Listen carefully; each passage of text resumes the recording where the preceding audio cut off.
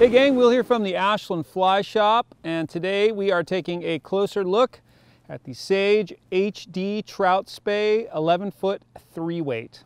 Uh, the 11 foot 3 weight Trout HD from Sage is easily my, my favorite 3 weight uh, trout Spey rod that I've cast. It just has the right combination of features that I'm looking for in a trout spey rod. I want something a little punchy. I like a little more lower end. I just want it to be a little bit more versatile. Um, I want to be able to cast, you know, off the top, really lightweight, you know, full leaders, um, some dry fly fishing, uh, you know, just long tapered leaders, Scandi style, and then I want to be able to drive it a little bit with a with a Skagit head and and a little bit bigger fly. Um, and this this rod will definitely do it all. You you could you really get the sense of it. You know, there's a lot of power in the lower end, um, and it's got that really crisp, light. Um, um, tip on it. Um, really, really very, very smooth casting rod. So we'll talk about fly lines. The grain window on the rod, as it states on the rod actually, is uh, 250 to 300, which is really nice. I feel like they did a good job with that. I'm casting the trout spey line, uh, Rio trout spey line um, in the 265 grains, and I like it. I like it quite a bit.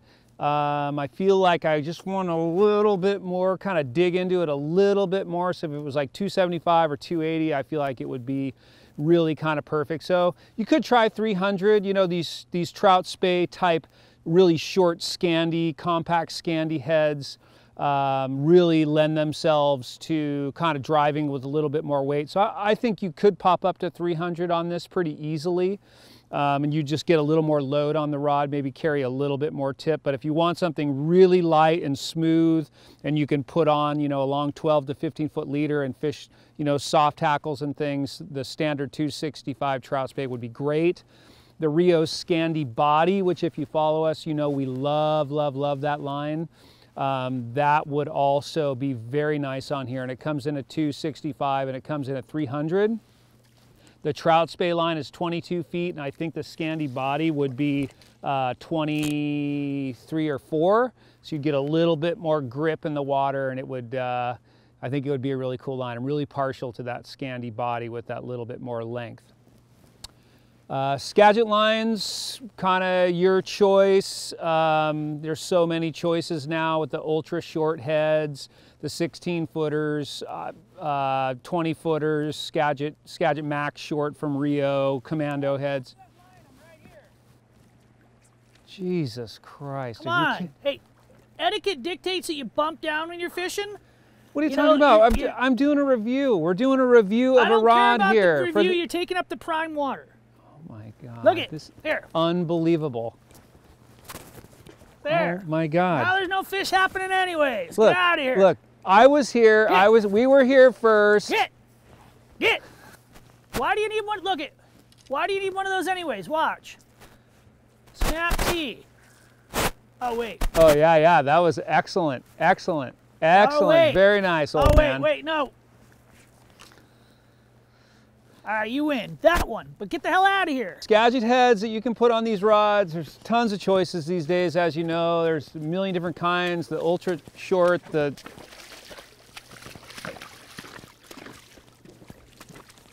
Skagit lines you can put on these rods, you know, tons of choices these days. Lots of great, great choices. Um, the three that I'd really look at is Skagit Max short at 20 feet. If you do some spey casting, that's gonna be real familiar for you. Nice smoother load. If you wanna go short, ultra short, I'd be looking at a uh, Skagit Scout, which is a really, really sweet head, or a Commando head.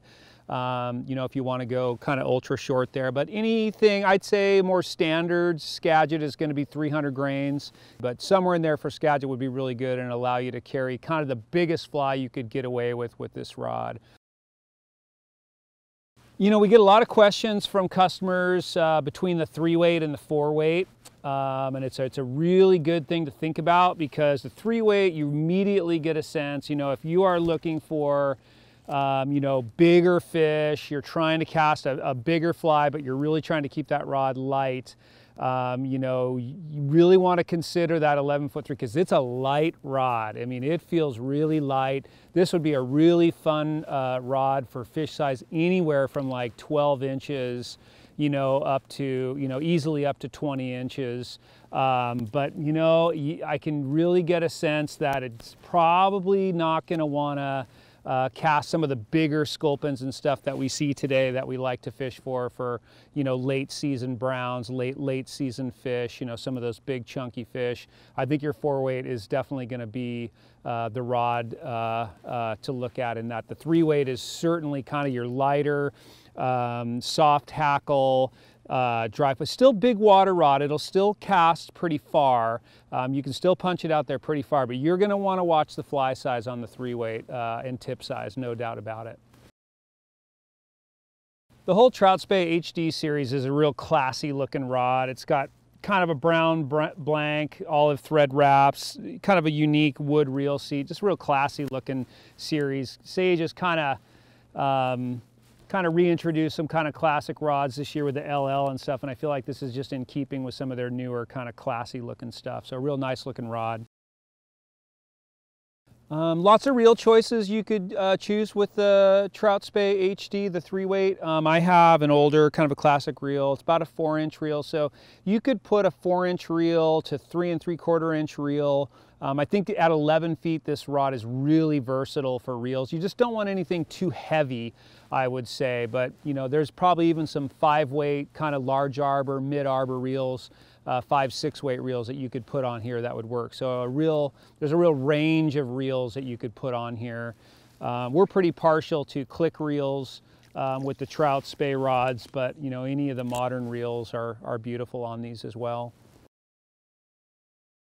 So the water we're fishing here today is really a classic type of, of water that I'd look for for trout spey fishing.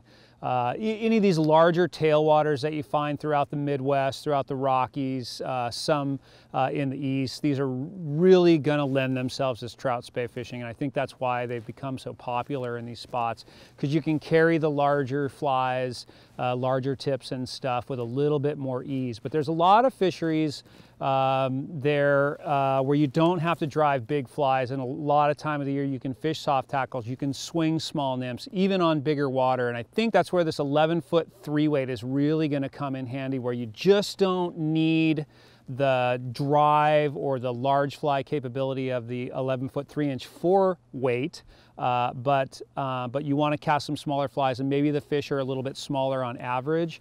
And that's where this rod is really going to be dreamy. I'm, I'm thinking you know, I'm thinking of some of the tailwaters in Colorado.